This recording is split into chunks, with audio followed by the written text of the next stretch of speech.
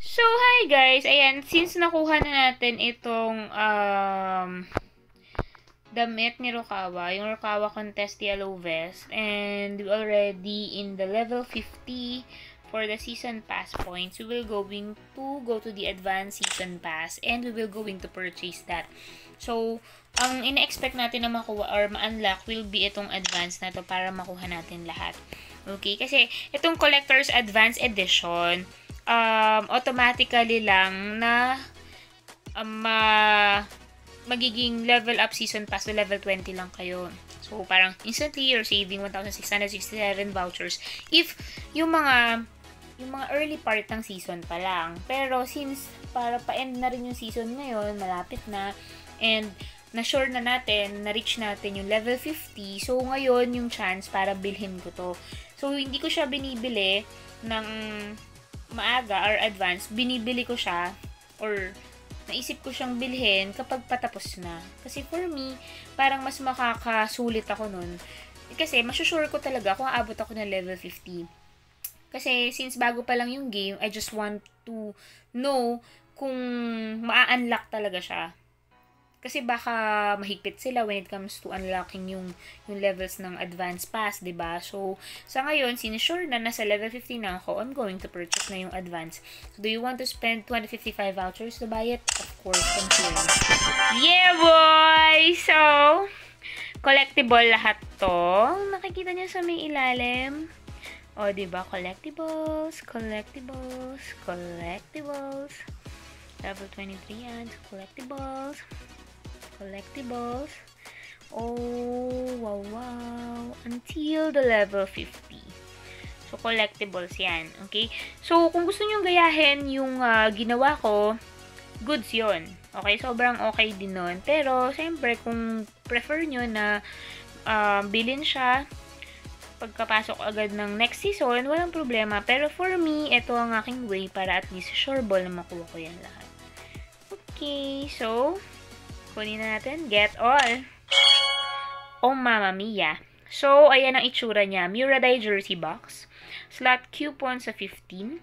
Diamond sa 500. Trait materials na 200. Ability materials na 1,250.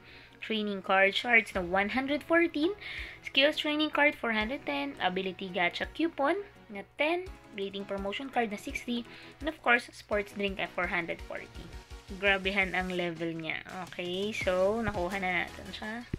Congratulations sa atin at na-claim na natin yan So, sa mga hindi pa nakakaalam or sa hindi pa nakakapag-try ulit mag-recharge, uh, nabibigyan tayo ng chance nito na ma-double yung ating mga ibibili na voucher. So, do first recharge for of each voucher option. So, ito yung mga voucher options, yung 49, ay 50 to 55 for 95. So, tatry natin yung 255 muna. Okay? So, tignan natin kung each voucher option nga siya. So, ibig sabihin, kung nakuha ko itong 255 at hindi na nag-okay sa 50, ibig sabihin, one time lang. Pero kapag nakuha natin 255, nag-double siya, tapos 50, nag-double din, ibig sabihin, lahat nga yan. So, yung, uh, yung, um, So, yung 5K dito or yung 4,935 vouchers, may chance kayong maging 10,000 yan. So, grabe yan na to Ibang level. So, try natin itong 255 muna. Ang mahiwagang mensahe! Oh, so, yun nga guys, nag-double siya. Ang pinurchase lang natin eh 255. So, ayan, 5 na siya. So, congratulations. Ngayon, try naman natin itong 50.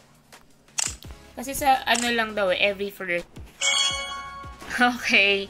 So, ayan, 100 vouchers. So, since na-avail na natin yung 50, 250, um, meron pa tayong available na 495, 700, uh, 5, 1,000. So, itong mga to, pag first time ulit na uh, mag-recharge tayo, automatically magdo-double yan. So, itong 500 magiging 1,000, itong 700 magiging 1,400, itong 1,000 magiging 2,000, 1,500 magiging 3,000, 2,500 magiging 5,000, and of course, yung 5,000 magiging 10,000.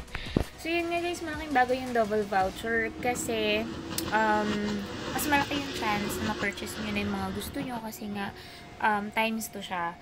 So, meron akong mga nakitang mga questions sa mismong Slam Dunk page na if ever hanggang kailan daw yung double voucher. Tapos, ang nilagay lang ng slam dunk is, um, ay sorry, that's, ang nilagay ng slam dunk is yung link na, um, sorry, tats. Shoutout sa'yo, tats. Ayan. So, ang nilagay nila doon na link lang is na yung slam dunk, um, ay, sorry, si Drano Basket. Ayan. Shout out kay si Drano Basket. Ayan, pasensya na gumagawa ako video. Thank you si Drano. So, ang nilagay nila doon for their answer will be yung all players will be able to receive double vouchers after doing first recharge of each voucher option. So, meaning, wala silang nilagay na time frame if hanggang kailan. As long as um, makapag first recharge ka nung mga voucher options uh, based on my own understanding doon sa nilagay nila dito is you will be having or you will be receiving double vouchers after doing yung first recharge ng voucher options from the start na nilagay nila yung update na yon. So, ibig sabihin, wala siyang deadline or time frame kung hanggang kailan. Kung matapos yung season, tuloy-tuloy pa rin siya. As long as yung first time mo lang ulit na mag-recharge dun sa mga voucher na yon after niya i-release yung kanilang update. So, yun lang talaga. Um, kasi wala silang nilagay eh, na deadline. E- ewan ko ha, based to sa mga nakikita ko at sa mga answers din nila dun sa mga nagtatanong. Kasi ang dami rin talaga nagtatanong sa kanila. Eh. Siyempre, yung iba nababother or nag-aalala kasi parang kung next season, hindi pa sila makapag um, recharge ngayon kasi nga, inaaban, inaabangan nila yung next season kasi baka may mga bagong players na lumabas. So, yun. Hindi directly kasing sinasagot ng Slam Dunk official page, pero yun yung nilagay nila na answer. So, ayun lang. Um, by the way, thank you so much for tuning in here at Gillette Stock. So, abangan nyo may mga ilalabas pa rin akong video and uh, mga tips din And I hope uh, marami kayong uh, napulot lang din. And if you do have some suggestions, please do comment below. Ayan, thank you so much guys mga katok. And I really, really miss you. So, I'm very, very thankful na carry-carry nang makagawa ng video ngayon at uh, makapag-stream. So, thank you so much again mga katok. And uh, don't forget to like, share, and subscribe to my YouTube channel. And of course, follow me at Gillette Stock page. Thank you so much mga katok. Bye!